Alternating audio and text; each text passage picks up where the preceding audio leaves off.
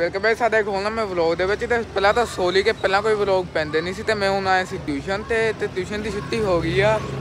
ਤੇ ਇੱਕ ਵਲੌਗ ਜਿਹੜਾ ਸੀ ਉਹ ਟੈਕਨੀਕਲ ਇਸ਼ੂ ਕਰਕੇ ਡਿਲੀਟ ਹੋ ਤੇ ਅੱਜ ਤੁਹਾਨੂੰ ਮੁੰਡੇ ਦੇ ਪੰਗੇ ਲੈ ਕੇ ਦਿਖਾਉਂਦੇ ਆ, ਦੇਖਿਓ।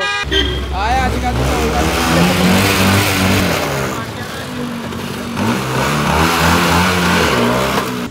ਤੇ ਤੁਹਾਨੂੰ ਦਿਖਾਉਂਦੇ ਆ, ਮੈਂ ਤਾਂ ਜਿੱਦਾਂ ਟਿਊਸ਼ਨੋਂ ਆ ਗਿਆ ਸੀ ਮੇਰੇ ਨਾਲ ਦੇ ਦੇਖੋ ਕੀ ਕੰਮ ਕਰਦੇ ਪਏ ਆ, ਦੇਖਿਓ।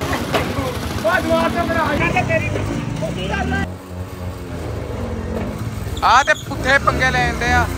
ਇਹ ਆ ਦੇ ਪੁੱਠੇ ਪੰਗੇ ਲੈਂਦੇ ਆ। ਆ ਦੇਖੋ, ਆ ਗਿਆ ਫੇ ਇਹ ਸਾਡਾ ਸਟੰਟਮੈਂਟ ਆ। ਵੈਲਕਮ ਹੈ ਤੁਹਾਡਾ ਦਵਾਲ ਤੋਂ ਤੇ ਮੈਂ ਟਿਊਸ਼ਨੋਂ ਆ ਗਿਆ ਸੀ ਤੇ ਤੁਹਾਨੂੰ ਆਪਣੇ ਖੇਤਾਂ ਦਾ ਹਾਲ ਵੀ ਦਿਖਾਉਣਾ ਤੇ ਨਾਲ ਦੇ ਦਾ ਵੀ ਦਿਖਾਉਣਾ। ਤੇ ਆ ਤਾਂ ਆਪਣੇ ਖੇਤ ਹੈ ਕੱਲੂ ਕੰਪੇਨ ਆਊਗੀ ਹੱਦ ਪਾਸੋਂ ਨੂੰ। ਮੇਰੇ ਹਿਸਾਬ ਨਾਲ ਤਾਂ ਕੱਲੂ ਕੰਪੇਨ ਚੱਲ ਜਾਣੀ, ਪਰਸੋਂ ਤਾਂ ਪਾ ਜਿਆ ਆ ਤੇ ਕੰਪੇਨ ਨੇ ਕੱਲੂ ਚੱਲ ਜਾਣਾ ਆਪਣੇ ਸਾਰੇ।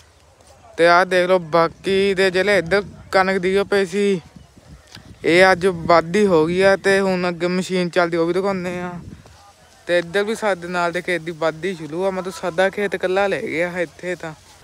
ਤੇ ਆਹ ਉਹ ਮਸ਼ੀਨ ਆ ਪਿੱਛੇ ਤੇ ਲਾਈ, ਪਹਿਲਾਂ ਤਾਂ ਇੰਦਾ ਨਾ ਜਿੱਦਾਂ ਹੱਥ ਵਾਲੀ ਚ ਪੰਦਾ ਬੰਨੀਆਂ ਹੁੰਦੀਆਂ ਤੇ ਆ ਤੇ ਆ ਬੰਦਾ ਲੱਗਦਾ ਆ ਵੀ ਸਾਡੇ ਨਾਲ ਦਾ ਝੋਤਾ ਖੜਾ ਹੈ ਮਤਲਬ ਪੋਦ ਖੜਾ ਆ ਤੇ ਆ ਬੰਦਾ ਦੇਖ ਸਕਦੇ ਆ ਸਾਰੇ ਪਾਸੇ ਬਣਿਆ। ਤੇ ਹੁਣ ਲੱਗੀ ਆ ਮਸ਼ੀਨ ਦੀ ਸੈਲਫ ਵੱਜਣ ਲੱਗੀ ਆ, ਉਹ ਮਸ਼ੀਨ ਖਲੀ ਆ ਆਪਣੀ।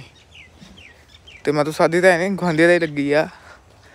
ਤੇ ਹੁਣ ਸਟਾਰਟ ਹੋਊਗਾ ਤੇ ਤੇ ਆਪਾਂ ਹੁਣ ਚੱਲੇ ਸੀ ਘਰੇ, ਤੇ ਅੱਜ ਦਾ ਵਲੋਗ ਆਪਣਾ ਇੱਥੇ ਹੀ ਮੁੱਕਦਾ, ਕਿੱਦਾਂ ਤੱਕ ਦੱਸੋ।